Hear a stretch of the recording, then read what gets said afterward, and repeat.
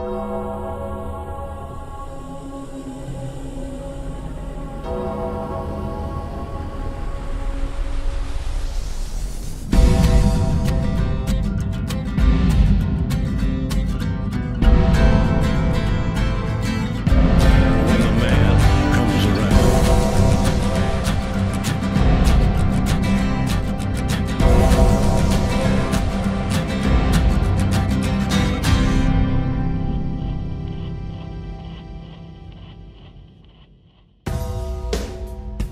Undertaker's WrestleMania winning streak was, and still is, the stuff of legend. Year after year, fans tuned into the WWE's biggest show to see The Undertaker defend his winning streak. Guys like Kevin Nash, Psycho Sid, Kane, Ric Flair, Shawn Michaels, Batista, Triple H. The Phenom destroyed some of the biggest names in the business while solidifying himself as a legend of WrestleMania. The streak became part of the show, an attraction within the attraction, and in many ways, the streak transcended the WrestleMania show itself. As The Undertaker said at one point, there were three things that were guaranteed in life death, taxes, and the streak. The streak began all the way back at WrestleMania 7 in 1991 when The Undertaker defeated Jimmy Snuka in around 4 minutes. Back then, absolutely no one could have guessed that The Undertaker would carve out his own WrestleMania tradition that would span decades. From 1991 to 2013, The Undertaker was victorious at WrestleMania, but at WrestleMania 30 in 2014, held in the Mercedes Benz Superdome in New Orleans, the streak was broken and The Undertaker suffered his first loss at WrestleMania. Fans and wrestlers alike felt that the streak would never end. People had gotten comfortable with The Undertaker one day ending his career with the streak still intact, and in doing this, there would always be this legendary WrestleMania story about a man who couldn't be beaten on the grandest stage of all. But this didn't happen. The Undertaker was soundly beaten in the middle of the ring by Brock Lesnar, and the post match reactions from the Superdome all the way to the wrestling dirt sheets was like nothing we'd seen before. While fans in attendance reacted with pure shock and surprise, the wrestling media and the quote smart fans scrambled to find a reason for the streak ending. There had to be a story here, right? There had to be some sort of reason for the WWE ending a yearly tradition that fans genuinely loved. Well, immediately following WrestleMania 30, there really wasn't an answer given, but as the years went on, the WWE and The Undertaker opened up a little more about the end of the streak, and this is what we're going to look at in today's video.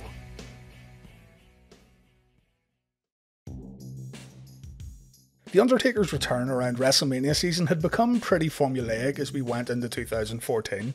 Along with the usual rumours around who would win the Royal Rumble and who would main event WrestleMania, there would also be speculation in regards to The Undertaker's opponent for the big show. The WWE left it quite late in the run up to WrestleMania 30, with The Undertaker's opponent getting confirmed on the February 24th episode of Raw. Brock Lesnar showed up in the final segment of this broadcast alongside Paul Heyman. Heyman said that Lesnar should be main eventing WrestleMania, and when Paul approached Triple H and Stephanie McMahon in regards to Lesnar's Mania match, Brock was given an open match contract. This meant Brock could challenge anyone he wanted at WrestleMania with the exception of the world champion. Heyman called this a consolation prize. The open contract meant nothing. Brock Lesnar wants to make history at WrestleMania, and he can only do that by conquering the world champion. Heyman said the open contract is not acceptable, and if Lesnar isn't wrestling for the WWE's biggest prize, then Lesnar would not be appearing at WrestleMania.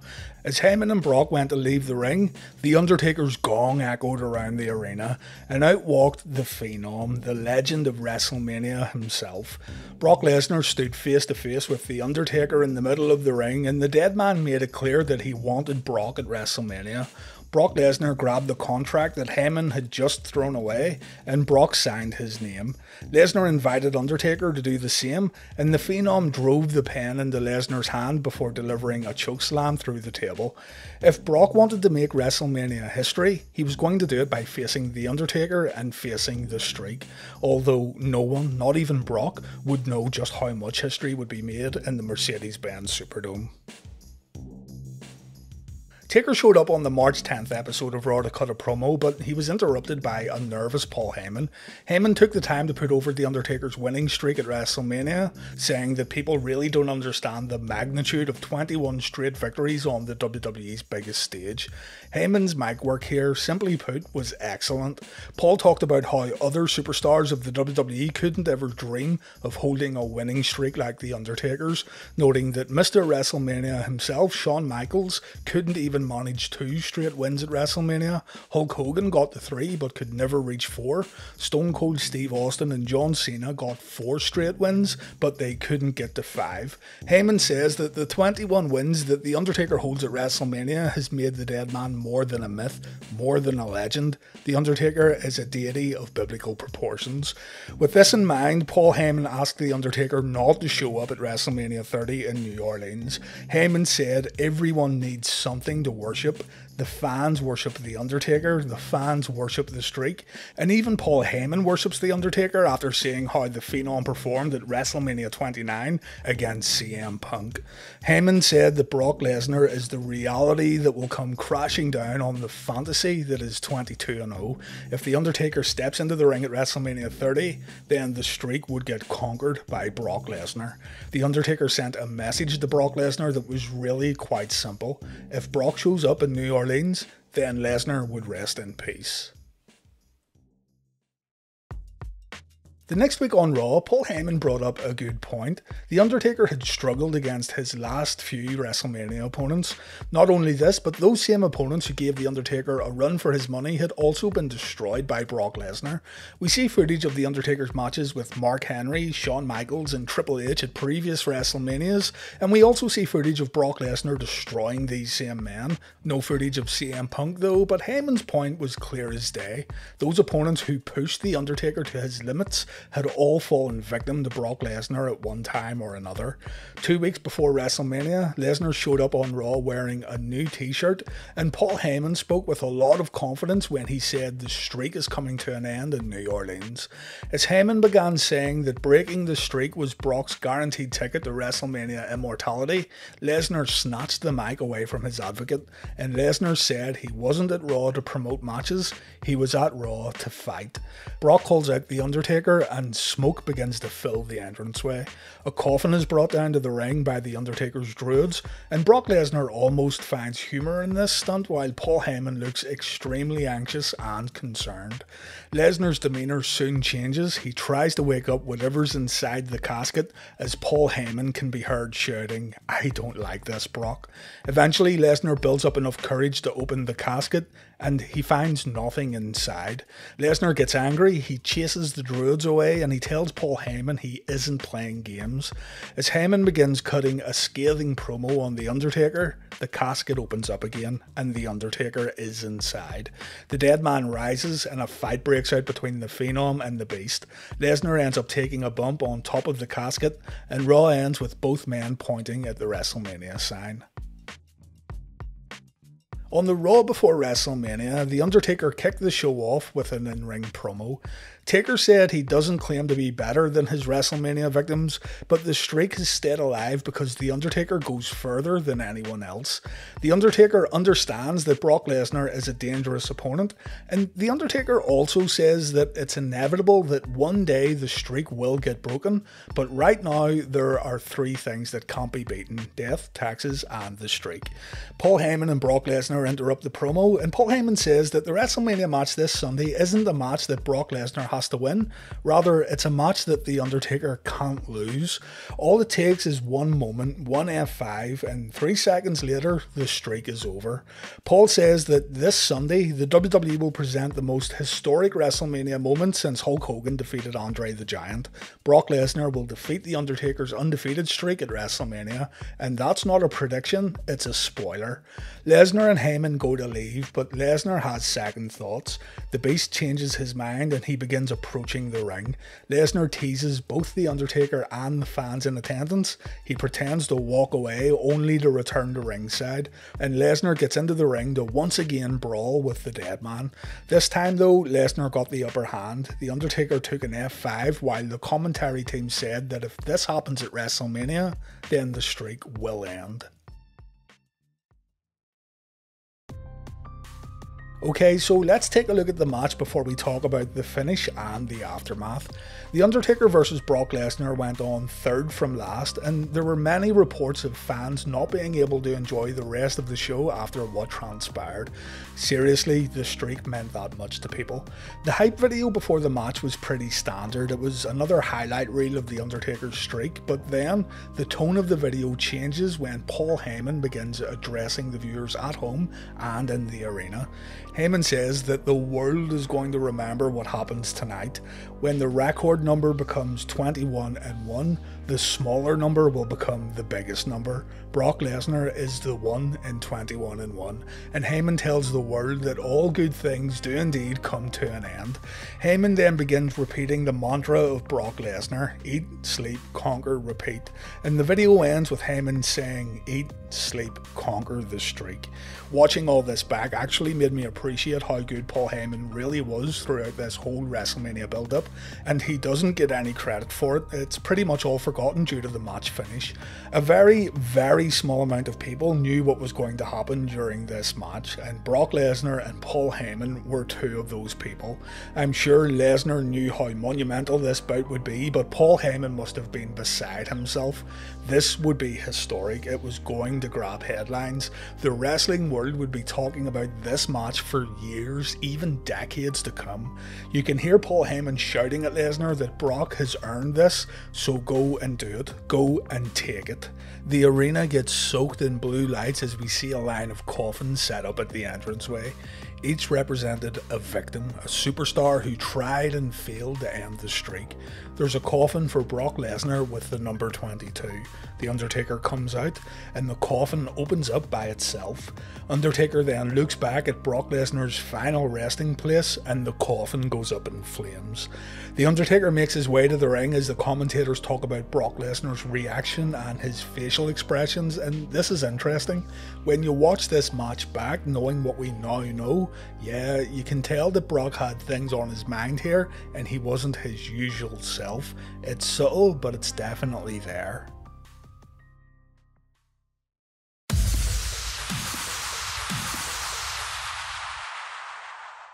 The two men square off and the bell rings. Undertaker strikes first, but Brock answers with a suplex. Taker gets clotheslined over the top rope, but the dead man lands on his feet. So far, so good. Lesnar clubs the Undertaker's chest, but Undertaker has no problem getting back into the ring to continue the match. The Phenom punishes Lesnar in the corner. Lesnar's shoulder becomes a target for the Undertaker. Lesnar tries to throw himself into the dead man, but Brock's shoulder ends up taking more punishment.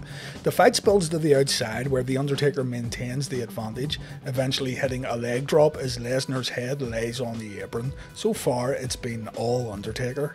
The dead man hits Snake Eyes, he goes for the choke slam, Lesnar counters, and the Beast goes for the F5. But Taker is able to ram Lesnar into the turnbuckle, causing more damage to Lesnar's shoulder. The Undertaker misses a big boot in the corner, and this mistake allows Lesnar to lead the match. Taker gets taken down on the outside, and many believe this is when Undertaker got concussed, but I'm not so sure. He seems to have his wits about him when the match gets back into the ring, but really, these things are hard to tell. It could have been anything that concussed The Undertaker, and even the Phenom himself has no idea how it happened. Lesnar begins targeting the leg, and Taker gets rammed into the barrier on the outside, and then Brock hits a suplex in the ring. It's from this point on where you can tell that something wasn't right with The Undertaker.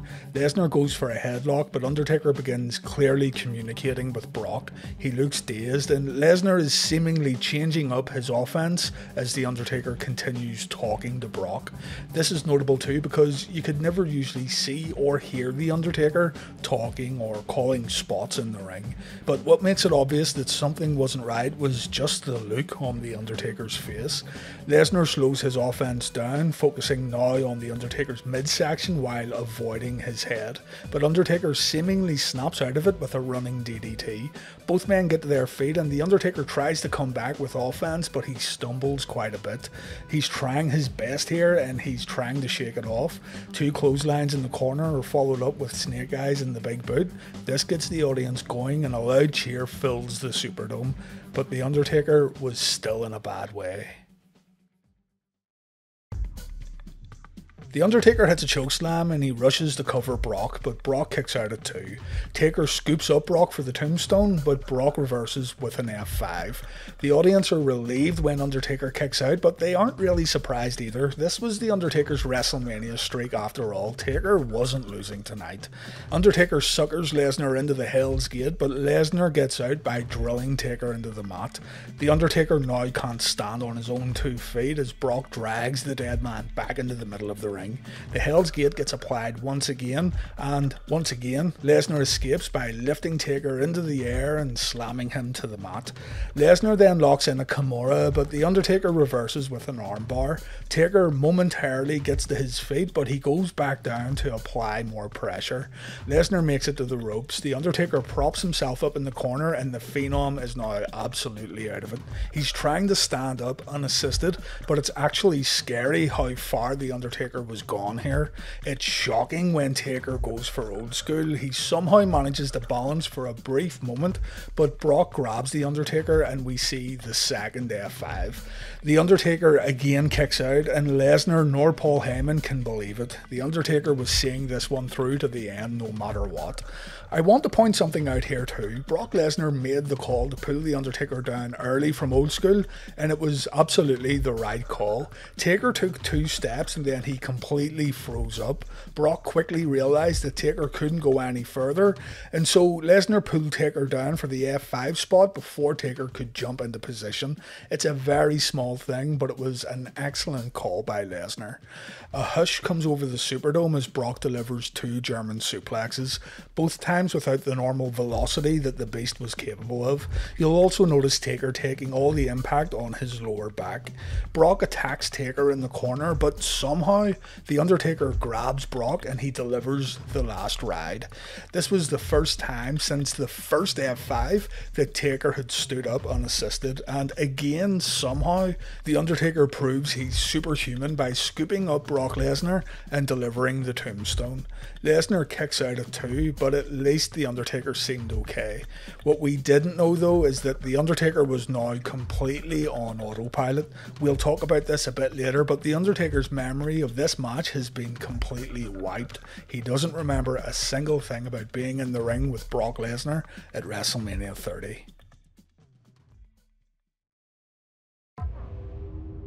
The Undertaker goes for the tombstone one last time. Brock Lesnar reverses it, and we see the third F5 of the match. Brock covers The Undertaker.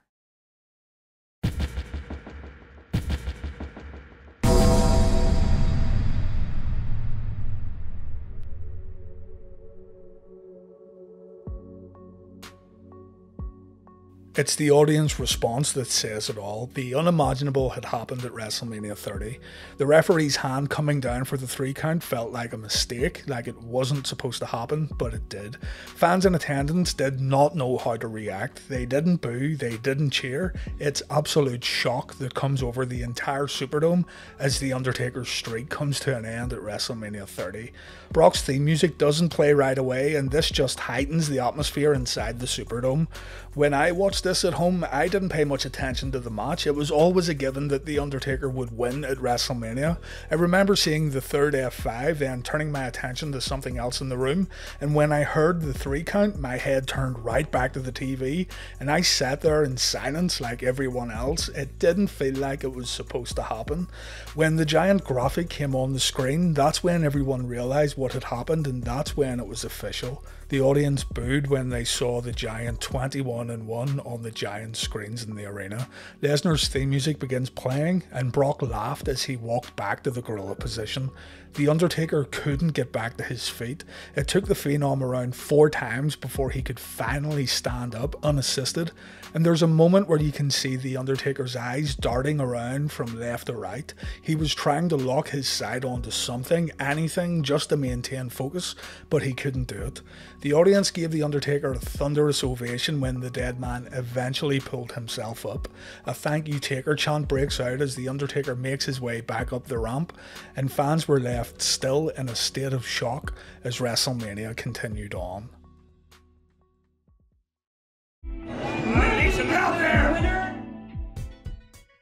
The Undertaker was completely out of it when he got backstage.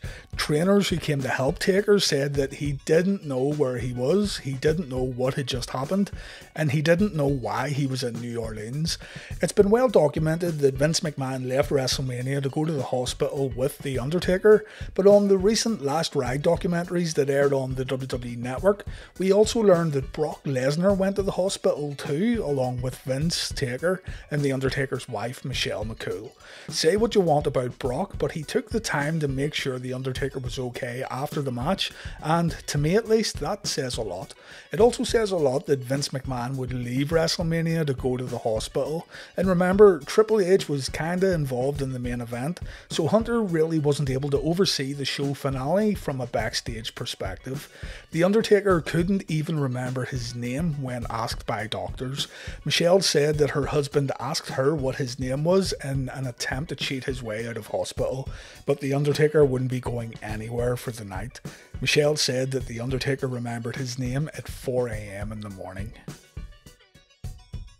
The Undertaker said, I don't know how that match happened. I have no recollection of it. My last memory of that day was at about 3:30 in the afternoon. So what I think happened was between getting older and not having all the reps and taking all the bumps throughout the course of the year, eventually it caught up with me. I think that explains what happened in New Orleans and the concussion. It was one concussion and one match, but it destroyed my confidence. Immediately after the match took place, fans scrambled around to find answers and the rumours were seriously rampant.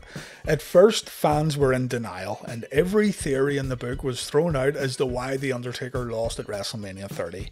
Some thought that Lesnar went into business for himself, which is ridiculous because Brock had done business with everyone else in WWE, plus you can see Brock taking care of The Undertaker during the last five minutes of the match. Some fans believed that the match finish was changed in the middle of the bout and The Undertaker had no other choice but to play along with the boss's orders. Some even thought that The Undertaker went into business for himself and he lay down for Brock, completely flipping the script and defying Vince McMahon's creative plans. It was one theory after another because fans did not want to accept that The Undertaker was beaten at WrestleMania, and the thought of The Undertaker agreeing to end the streak seemed extremely far fetched in the eyes of many Undertaker fans. Add in the fact that this was Brock Lesnar, a man who was seen as a part timer and a man who many thought was undeserving of such a monumental passing of the torch. It didn't help either that Paul Heyman stirred the pot at every given opportunity. Heyman loved to create buzz and he loved to create speculation, but Heyman knew exactly what he was doing when he gave interviews and he intentionally placed doubt in people's heads. The most simple explanation was the right explanation here, and it's as simple as this. Vince McMahon wanted The Undertaker to lose, and The Undertaker agreed. The original creative for the match saw The Undertaker get the victory, but just before WrestleMania 30 began, Vince McMahon changed the outcome, and The Undertaker didn't protest. Taker said, Internally, and the way this business works, I knew someday it would end. In our industry, you don't walk away like Floyd Mayweather or Rocky Marciano. It just doesn't happen that way in wrestling. It was always in the back of my mind that it would end, although most of my peers and people that I worked with thought it was a horrible decision. I just asked Vince, Are you sure? Is this what you want? He was like, If it's not Brock, then who can beat you? Alright, it's your call. Everybody thinks I have all this juice, like I can say yes or say no. I could have said no, but what good was that going to do? That really would have disappointed people. What do I do? I go out and throw a tissy and go, if I'm not going over, then I'm not going in. That's not me. I'm business, and business comes first before anything personal. I double checked and made sure he was sure 100% that was what he wanted to do, and that was the plan, so I went with it. So many times we hear of wrestlers refusing to do jobs and refusing to put others over. Shawn Michaels, Steve Austin, Hulk Hogan, and here's The Undertaker with the legendary WrestleMania streak, pretty much the legacy of The Undertaker, and he just double checks with Vince before going out and doing the job. It speaks a lot for The Undertaker's character outside of the ring, and no matter what you may think of the last minute change to the match outcome, The Undertaker was doing what so many other wrestling legends refuse to do lose a high stakes match. Not just a high stakes match, the ultimate match. Whoever broke the streak would go down in history, and while I really do wish it was someone maybe a little younger than Brock and someone who was ready to actually carry the torch week in and week out, the fact that The Undertaker agreed to end the streak with no resistance just makes the man so much more likable.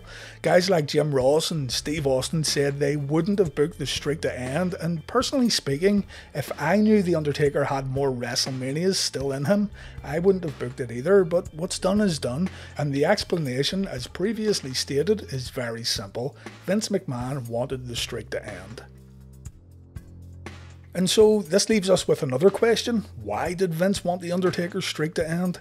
The closest answer we've got is a very public statement that Vince gave on the Stone Cold podcast. Keep in mind that this was a show that aired on the WWE network. When asked about the WrestleMania 30 outcome, Vince McMahon said, no one wants to give back to the business more than Mark Calaway. He knew it was important to give back to the business. There comes a time in which it's time to do that. Looking down the talent roster, who else could Undertaker possibly work with and at that time give back in the biggest possible way he could to help someone become a star? Who was it going to be? There was no one on the roster potentially. It was timing, and the one person whose time was there at that moment and who Mark felt that, well, this is it, it was Brock. Steve Austin pressed Vince McMahon on this statement, saying that there's no way that this was The Undertaker's decision, and Vince took responsibility and he said it was initially a Vince McMahon idea. Vince went on to say, it was a shock to everybody, and that's on me. Those decisions aren't easy to make, but you have to make difficult decisions sometimes, and I think I made the right call at the right time.